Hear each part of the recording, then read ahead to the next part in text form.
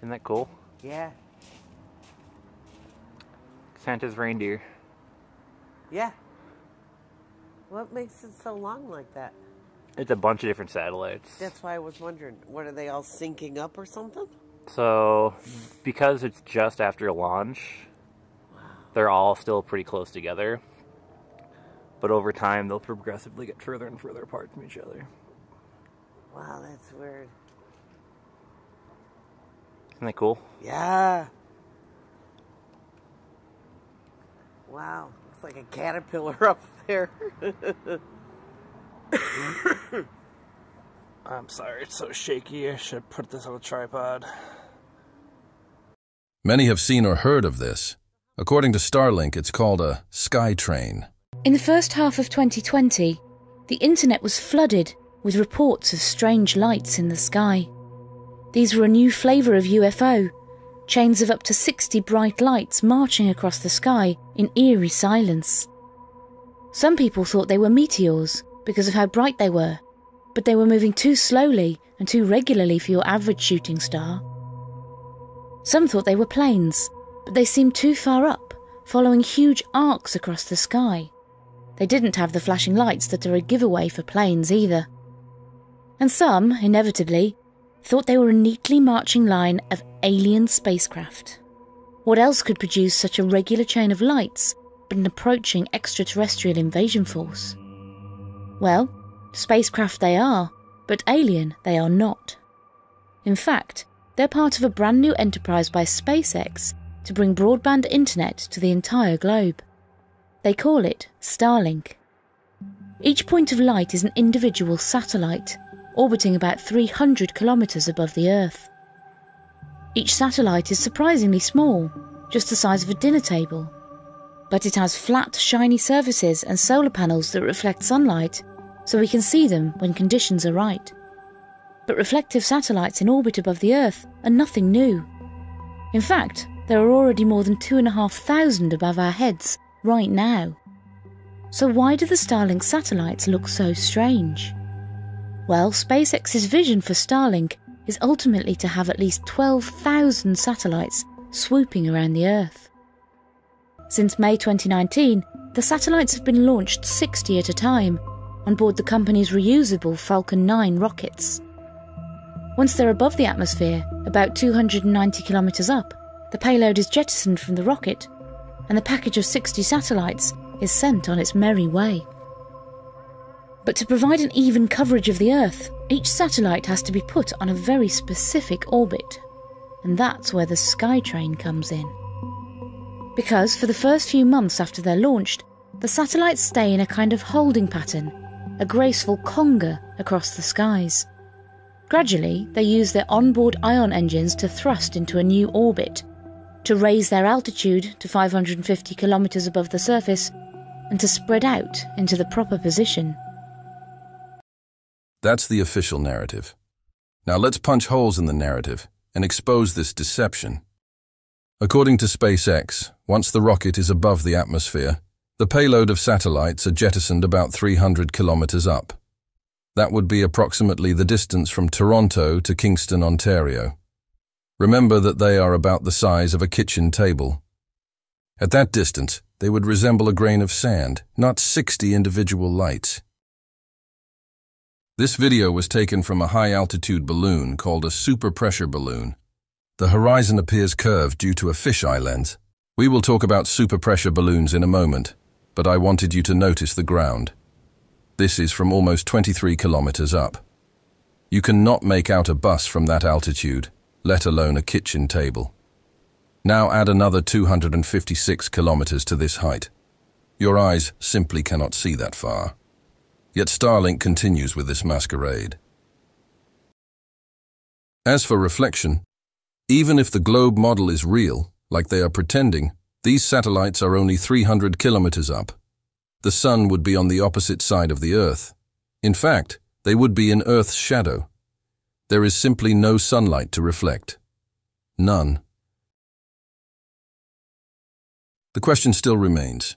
If they are not satellites, what are they? I'd rather have a science balloon than a science satellite. With a balloon, there's no need for rockets. To get a satellite to hover over the same spot on Earth, geostationary orbit, you have to be 36,000 kilometers away, too far to use some sensors, like radar. A balloon can sit a thousand times closer in the stratosphere, 30 to 40 kilometers above the Earth, and still be above 99% of the atmosphere with clear views of the stars or wide panoramas of Earth. You can bring down a balloon, tinker with onboard scientific equipment, and then launch again. Satellites, not so much. Cost is also a factor. NOAA's four new geostationary weather satellites are estimated to cost $11 billion, whereas a balloon flight might cost just a few hundred thousand dollars. NASA's been flying balloons for a long time, but without any steering capabilities, they drift in the wind across continents. Now, private industry is getting in the balloon game with new technologies that are enabling balloons to hover over one spot. These balloons rise and fall in the stratosphere, catching countervailing breezes that allow them to stay roughly in the same place. What can a balloon with a scientific payload do? It can look down at the Earth, checking on storms or animal migrations. It can look out into space, peering at the surface of the sun or collecting cosmic rays. It can even do things in the stratosphere, like studying how ice crystals could reflect sunlight and cool the planet. How do you keep a balloon stable enough to use a telescope? Gyroscopes can help keep a platform pointed at its target, even as it sits in a twisting gondola. But this isn't an ad for scientific balloons. There are a few caveats. For example, while satellites last for years, the longest balloon flights have been a few months. And what goes up needs to come down, so most balloons come with parachutes that can bring their payloads down gently.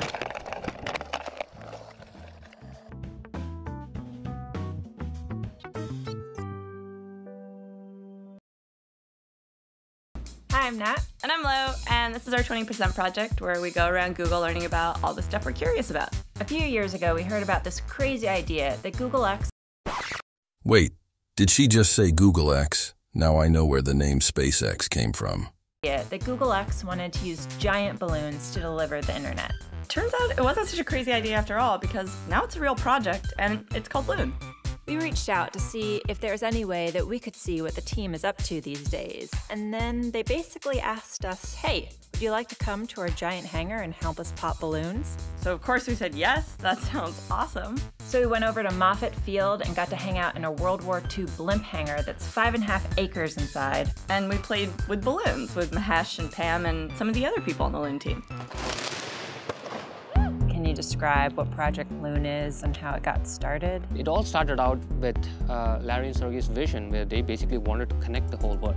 Right now, more than 4 billion people can't access the internet, and a lot of them live in rural and remote areas. So it's kind of easier and faster to think of a new solution rather than try to build the same kind of ground infrastructure that other places are using. What if we change the paradigm? People can live anywhere they want, but we take the tower and we actually floated up in the air. Specifically 12 miles up in the stratosphere, twice as high as planes fly, where there are these layers of wind that the balloons can use to sail around on. This is a loon balloon. It's a pumpkin-shaped high-altitude super pressure balloon, which means a higher pressure inside than the pressure in the ambient outside. What's the so what's the balloon inside the other balloon? That's a ballonnet, which just means little balloon in French.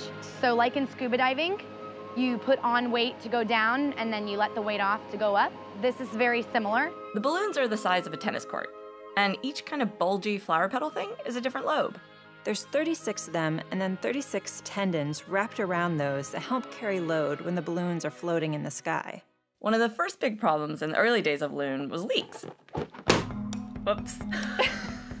These balloons are lasting five days, maybe 10 days. So what we did is we formed a leak squad. We all came together to say, what are all the sources of leaks? and then proving out by actually doing testing here at Moffett and, and other ways. One of these very scientific tests was asking people assembling and walking on top of the balloons to wear a fluffier pair of socks. After six or seven months of testing and refining everything about their process how they make the balloons, how they package them, how they unpackage them, how they launch them they were able to take their balloons from lasting five days to. We are able to successfully get our balloons to last more than 100 days. Our longest lasting balloon was 187 days. Which basically means it went around the world like 10 times. It's like a big noodle. So even though the balloons are lasting longer these days, there's still plenty of things to test. Right now we're doing a bunch of tests to inflate to different pressures. So every 100 pascals, we're taking measurements on the film for strain and stretch. And they do this to purposely pop the balloon so that they can learn more about its strengths and weaknesses. I noticed my hands just barely touching it were like leaving imprints. So was I damaging it? No. So the film can handle a lot if you use all the surface area evenly. But if you say take a finger, you could easily poke through it. It's extremely stretchy at what we call ambient temperature. All these materials are optimized once it's up at float and cold because in Moffett, they're testing at room temperature. But, you know, in the sky, it can be like negative 80 degrees at night. There aren't that many places on the ground that we can get something this big that cold. McKinley Climatic Lab, which is part of the Eglin Air Force Base in Florida. It's a giant hangar, about half the size of uh, Moffett Field, that has unique capabilities of taking it down to minus 40, minus 60 degrees centigrade there. So we've inflated three balloons, and then we took the chamber down, simulated going into, into float. What is the trigger point? Where does it fail? Oh, you see the snow. wow Then we go do forensics afterward. So we'll pull the film down, we look at it with a polarized light filter. You can see things with this filter that your naked eye isn't gonna call out to you. And it really helps to look at what shape is it, what direction is it, does it have any scratches? It's like shining a giant light on it and yeah. instantly everything is clear.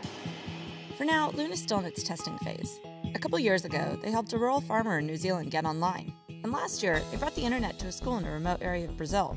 And we just found out that next year, they'll begin testing in Indonesia and maybe a few other places. Our goal is over the next few years to be able to start providing good commercial service. Before making this episode, we used to think that Loon was just like a crazy idea. But now we realize if you look into the history of weather balloons and, you know, other scientific balloons, not this guy, you realize that they've done some pretty amazing things and they're not newbies to hanging out in the stratosphere. All Loon did was find another way to use them. One day, a balloon is going to be flying up in the sky, and we're not even going to be able to see it, but someone is going to be sharing a photo with their friend, and it's going to be because of that balloon we can't even see. Just like anything else, what was once crazy becomes normal.